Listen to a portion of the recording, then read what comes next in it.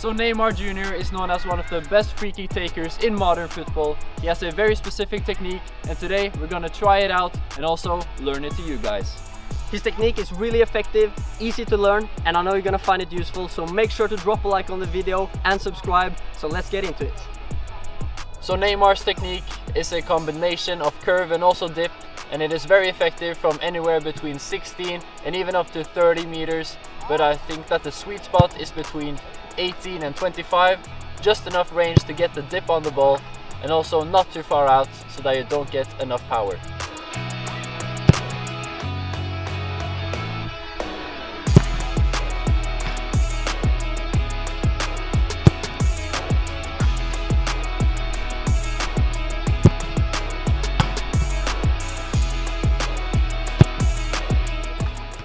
So Neymar has quite a sharp angle on his run up and he takes about three to four steps back kind of just stands like this relaxes his body and has a 45 degree angle on the ball towards the goal. Sometimes the keeper might try to throw you off but usually you'd want to go over the wall and curve into the near corner. Since the starting position is already so close to the ball, you only take about two steps when you actually want to strike it. First, place your dominant foot in front of the other, then you plant your weaker foot next to the ball and then you strike. To make sure that you get enough dip on the free kick, there are a few important steps that you need to take in mind. First of all, it's very important that you hit the ball with the right part of your foot. You don't want to hit the ball with your laces. Neymar himself hits the ball with the inside of his foot, which helps him generate curve and also some of that dipping effect. And then he kind of wraps his foot around the ball and swings his kicking foot to the left past his standing foot. And when doing this, it's very important to keep your upper body upright over the ball so that it doesn't go sky high but actually is able to dip over the wall and go into the goal.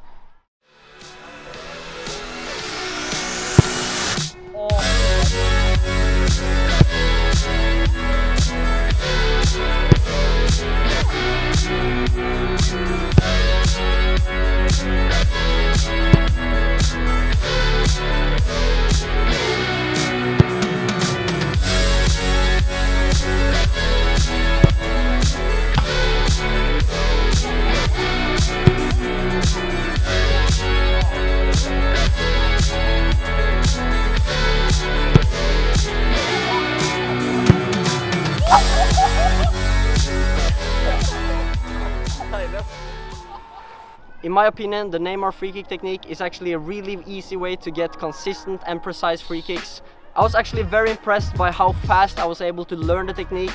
Sondre just told me some simple steps and it didn't take long to score some bangers. So to summarize, the Neymar free kick technique is probably the most reliable free kick technique I have ever tried and I can really see why Neymar has been using it for a long time and has had very much success doing it. So hopefully you found this video useful and you learned something from it.